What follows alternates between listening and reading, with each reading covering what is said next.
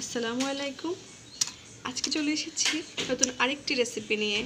আজকে তৈরি করে দেখাবো বাচ্চাদের এবং বড়দের খুবই পছন্দের চিপস পটেটো চিপস এই চিপসটি কীভাবে বাসায় তৈরি করতে হয় ইনস্ট্যান্ট কীভাবে চিপস ভেজে খাবেন, আজকে তা দেখে নেওয়া যায় তো চলুন দেখে নিই এই ইনস্ট্যান্ট চিপস কি করে বানানো হয়। পটেটো চিপস তৈরি করার জন্য আমি এই ধরনের একটু বড় আর লম্বাটে আলুগুলো নিয়ে নিয়েছি। এই আলুগুলো দিয়ে পটেটো চিপস এবং ফ্রেঞ্চ ফ্রাই খুব ভালো হয়। তো আমি আলুগুলোকে পিল আপ করে নিচ্ছি এবং খুব পাতলা পাতলা করে পটেটো চিপসে শেপ দিয়ে নিচ্ছি। আমি বটি দিয়ে চিপসগুলোকে আলুগুলোকে কেটে নিয়েছি। দেখতে পাচ্ছেন, খুব পাতলা করে কাটার চেষ্টা করেছি। আপনারা যেভাবে ভাবে পাতলা করে কাটতে পারবেন, সেটাই করে নেবেন। এবার একটু ঠান্ডা পানিতে যে আলুগুলো আমি কেটে রেখেছি, সবগুলোকে দিয়ে দিচ্ছি।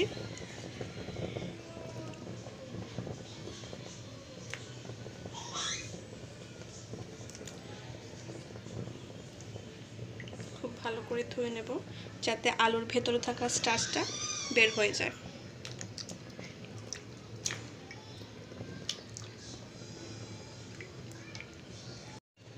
আপনি দেখতে পাচ্ছেন আমি আলুগুলোকে খুব ভালোভাবে ধুয়ে নিয়েছি।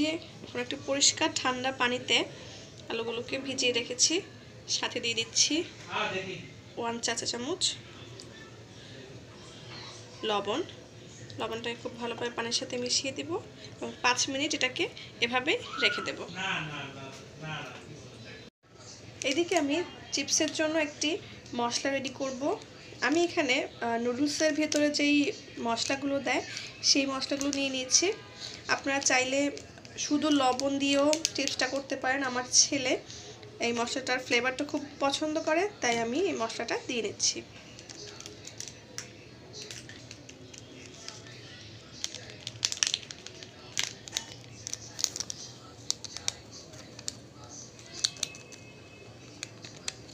শুধু লবণ দিয়েও চিপসটা খেতে খুব ভালো লাগে। বাট আমি আমার ছেলের জন্য তৈরি করছি, তাই এই মশলাটা দিয়ে নিচ্ছি। এটাই দিতে হবে, এমন কোনো কথা নেই। আমার মশলাও রেডি এবার আমি চিপসটাকে ভেজে নেওয়ার জন্য প্রিপেয়ার করব। পাঁচ মিনিট হয়ে গেছে, আমি লবণ দিয়ে পানি চিপসগুলোকে মানে আলুগুলোকে ভিজিয়ে রেখেছিলাম। আমি এখন পানিটা ছেঁকে নেব। স্ট্যানারে আমি আলুগুলো ছেঁকে নিলাম। এবার আবার একটু পানি দিয়ে আলুগুলো ধুয়ে নেব।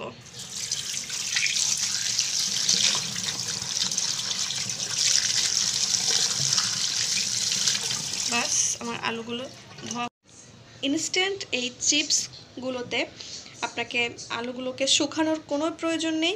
আপনি ঠিক ডাইরেক্ট এভাবেই ভেজে নিতে পারেন। আমি এভাবেই এখন স্টেনারের মধ্যে রেখেছি। আপনারা দেখতে পাচ্ছেন, আমি একদমই পানি শুকাইনি এটা যেই অবস্থায় ধুয়েছি, ঠিক সেই অবস্থায় আছে। সরাসরি আমি এটাকে তেলে ভেজে নেব।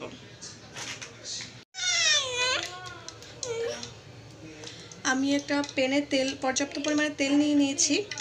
তেলটা খুব বেশি গরম না, এই হালকা গরম তেলের মধ্যে আমি চিপসগুলোকে ছেড়ে দিচ্ছি। আপনারা দেখে বুঝতে পাচ্ছেন তেলটা কি পরিমাণ গরম হতে হবে।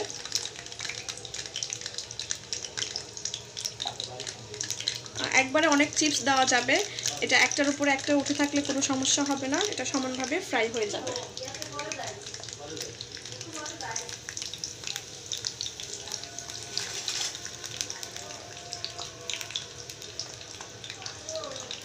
নেড়ে দিচ্ছি।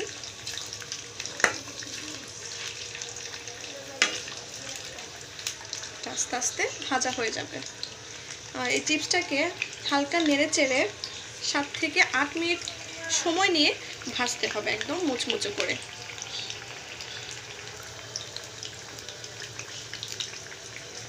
আমি আবার একটু নেড়ে দিচ্ছি। আমি আবারও বলছি একটার উপরে একটা উঠে থাকলে কোনো অসুবিধা হবে না। এটা সমানভাবে ভাজা হবে। শুধু আঁচটা একটু কমিয়ে রাখতে হবে, তাহলেই হবে। আঁচটা সবসময় মিডিয়ামে রেখে ভাজতে হবে তাহলে চিপসটা একদম পারফেক্ট মুচমুচে হবে। গরম গরম চিপসগুলো চুলা থেকে নামিয়ে যে মশলাটা আমরা রেডি করেছিলাম, সেটা এর উপরে ছিটিয়ে দেব। আর একটু ছাকিয়ে দেব। এর মশলাটা গরম গরম অবস্থায় লাগাতে হবে। নয়তো এটা চিপসের গায়ে ভালো করে লাগবে এভাবে সবগুলো চিপস আমি ভেজে নিচ্ছি। তৈরি হয়ে গেল আমার খুবই মজাদার এবং সুস্বাদু, সবার প্রিয় পটেটো চিপস। খুব অল্প সময়ের মধ্যে আপনারা এই চিপসটি ভেজে খেতে পারবেন। বাচ্চারা, বড়রা সবাই খুব আনন্দ করে খেতে পারবে। আমি একটা চিপস আপনাদের ভেঙে দেখাচ্ছি। দেখতে পারবেন কতটা মচমচে হয়েছে। এই চিপসটি আপনারা এয়ারটাইট কন্টেনারে এক সপ্তাহের মতো রেখে খেতে পারবেন। আর যখন ইচ্ছে করবে তখন এইভাবে ভেজে খেয়ে ফেলবেন।